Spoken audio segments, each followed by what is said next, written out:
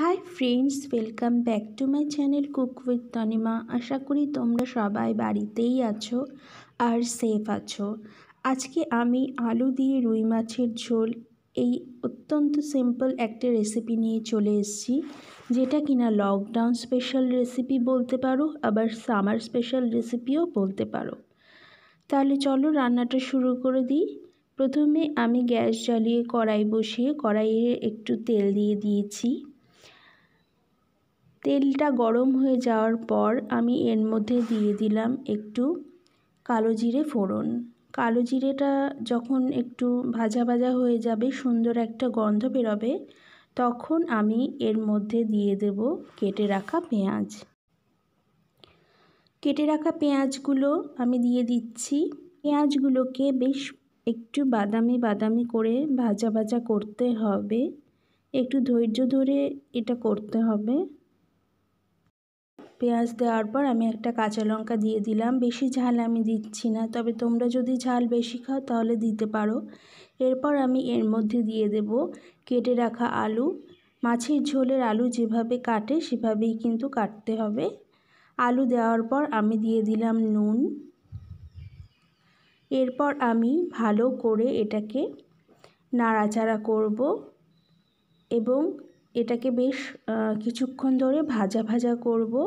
আলুটা একটু সফট হবে, পেঁয়াজটাও ভাজা হয়ে যাবে।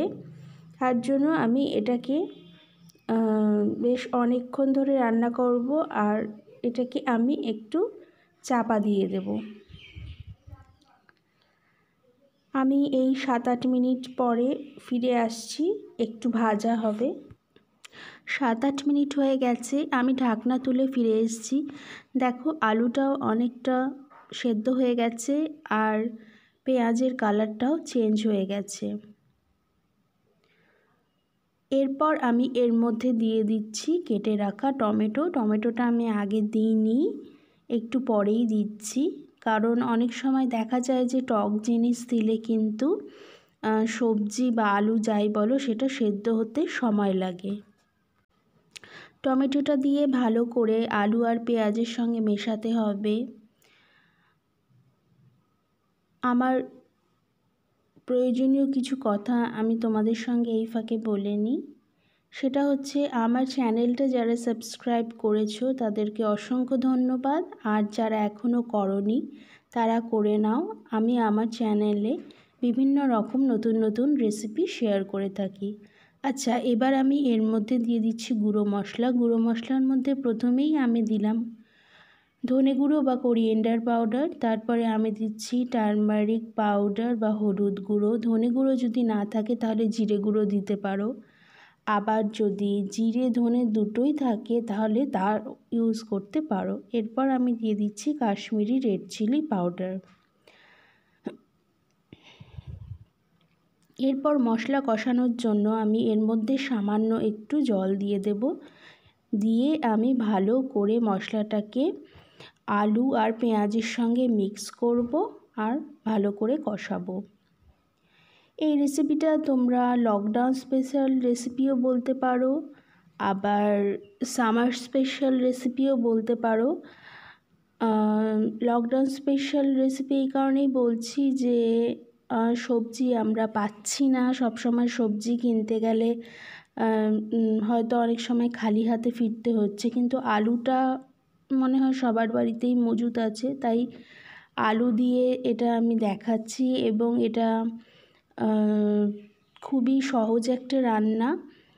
আর গরমকালের জন্য এটা বেস্ট কারণ এটাতে আমি খুবই কম তেল মশলা ইউজ করছি আর পাতলা করে ঝোল করছি, যেটা গরমের জন্য একদম উপযোগী। আচ্ছা এই রান্নাটার যেটা স্পেশালিটি সেটা হচ্ছে আমি মাছগুলোকে কিন্তু ভাজিনি। আমি মশলার সঙ্গে মাছগুলোকে ভালো করে কষাবো। মাছগুলোকে না ভাজলেও আমি প্রায় এক ঘণ্টা মতো নুন আর হলুদ মাখিয়ে মাছগুলোকে ম্যারিনেট করে রেখেছি। মাছ ভাজলে কিন্তু অনেক বেশি তেল লাগে। সেই জন্য আমি তেলটা অ্যাভয়েড করবার জন্য মাছগুলোকে না ভেজে রান্না করছি। মাছগুলোকে আমি ভালো করে আলু আর পেঁয়াজ মশলার সঙ্গে ভালো করে মিক্স করে নিচ্ছি।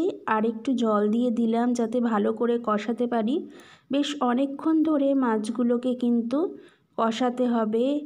এই সময় মাছগুলো কিন্তু অনেকটা কুক হয়ে যাবে। মাছ ভাজলে বেশ তেল লাগে। আমাদের তেলও সেভ হবে, আর গরম বলে কম তেলে রান্না খাওয়াটা ভালো বলে সেটাও হয়ে যাবে মানে দুটোই হয়ে যাবে। সেই জন্যই লকডাউন রেসিপি আর সামার স্পেশাল রেসিপি আমি এই জন্য এটাকে বলছি। আমি ঢেকে দিয়েছি। এটাকে ঢেকে দিয়ে প্রায় মিনিট দশেক ধরে কুক করতে হবে। দশ মিনিট পর আমি ফিরে এসেছি। দেখো আলুটা অনেকটা সেদ্ধ হয়ে গেছে, মাছগুলোও সেদ্ধ হয়ে গেছে। এইভাবে রান্না করলে তোমরা ভাবতে পারো হয়তো আষ্টে গন্ধ বেরোবে, কিন্তু সেটা একদমই নয়। যেহেতু মাছটাকে মশলার সঙ্গে ভালো করে কষানো হচ্ছে, সেই জন্য কোনো রকম আষ্টে গন্ধ বেরোবে না। আচ্ছা এরপর আমি এর মধ্যে দিয়ে দিচ্ছি একটুখানি সামান্য গরম মশলা। এটা অপশানাল দিতেও পারো, নাও দিতে পারো। গোটা গরম মশলা যদি থাকে তাহলে সেটাও দিতে পারো। গরম মশলা দিয়ে আমি ভালো করে মিক্স করে দিচ্ছি।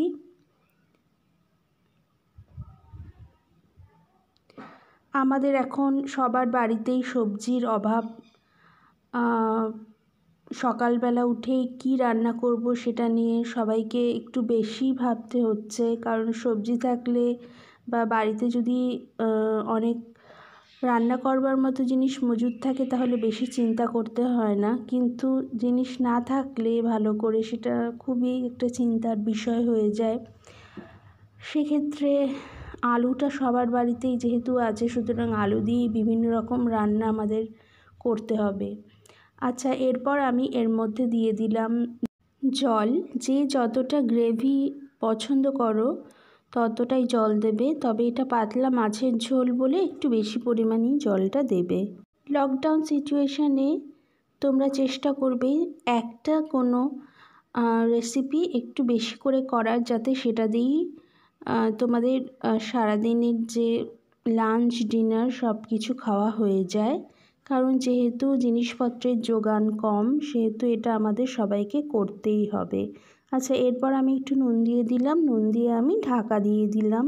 ঢাকা দিয়ে এটাকে আমি ততক্ষণ কুক করব যতক্ষণ না ঝোলটা ফুটে যায়, পরিমাণে একটু কমে যায়। দেখো, ঝোলটা ফুটে গেছে আর পরিমাণেও একটু কমে গেছে। এক্ষেত্রে ঝোলটাকে একটু বেশিক্ষণ ধরেই ফোটাতে হবে, কারণ যেহেতু আমরা মাছটা সেদ্ধ করিনি। আমার চ্যানেলটা তোমরা অবশ্যই ফলো করবে। আর যদি ভালো লাগে, তাহলে ফ্রেন্ডস আর ফ্যামিলির মধ্যে অবশ্যই শেয়ার করবে। আমার চ্যানেলটা সাবস্ক্রাইব করে আমার পাশে থাকবে, আমাকে এগিয়ে যেতে সাহায্য করবে। আমার রান্না একদম রেডি হয়ে গেছে, এরপর আমি এটাকে ডিশ আউট করে নেব। মাছের পিসগুলো খুব ধীরে ধীরে, আস্তে আস্তে যত্ন নিয়ে প্রথমে প্লেটে বেড়ে নেবে। খুবই যত্ন করে করতে হবে, তা না হলে কিন্তু মাছের পিসগুলো ভেঙে যেতে পারে।